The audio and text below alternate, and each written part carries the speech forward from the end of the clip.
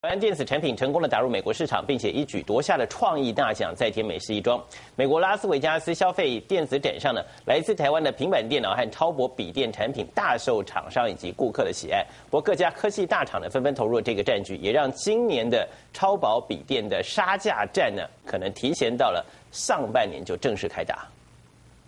超薄的金属外壳，连一元硬币的一半厚都不到，总重量也只有一个半的 iPad 那么轻，但功能却大大加倍，不到两秒钟就能够完成开机使用。而在展场的另一边，能直接把才看一半电影的手机放进去收纳槽中，就可以接下去继续观赏的平板电脑也大受欢迎。不论你在平板电脑上的作业到达哪一个阶段，您都可以随时像我这样子，直接把后面的手机拿出来，继续把作业带着走。如此贴线设计，因此获得了二零一二年的最佳创意奖。今年的 CES 大会颁予华硕六个最佳呃产品设计跟设计奖，另外 CNET 杂志也颁予华硕最佳 CES 二零一二奖。这是对于华硕的设计品质能力给予最佳的肯定。虽然新产品不但问世，不过算一算，一台也要台币三万九以上，真的是有点买不下手。因此，笔电大厂头绪吧就提前宣布，准备在第二季祭出减价策略，而且一次就要下杀两百美元以上，预估价格连台币两万四都不到，真的是杀很大。It's really targeted at the everyday consumer, so